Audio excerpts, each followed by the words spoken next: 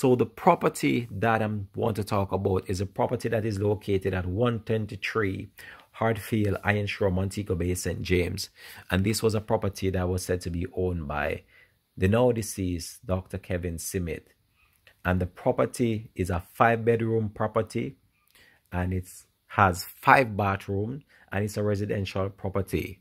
At the time the property listed for sale, the property was selling for 575,000 US.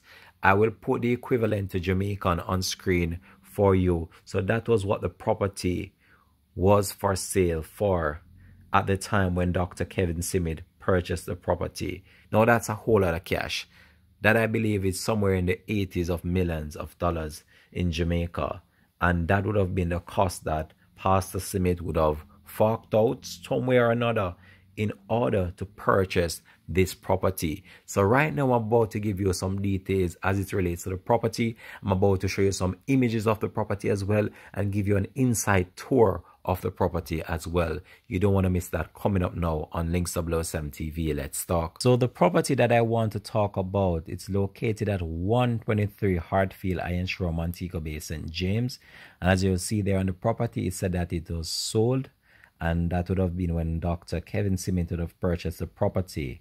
If you look closer, the cost of the property was 557,000 US. I'll put the Jamaican equivalent to that as well. And the estimated mortgage was 2,671 per month, and that would have been in US dollars.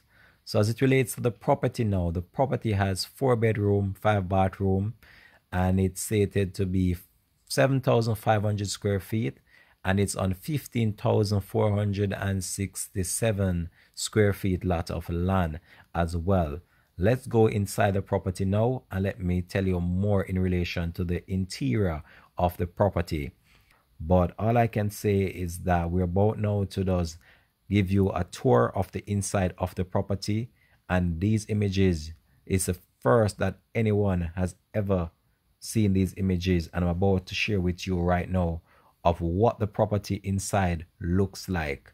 This is Link Links 007 TV exclusive report on this and we're about now to provide you with this information right now right here on the program so let's go over to a tour of the interior of the property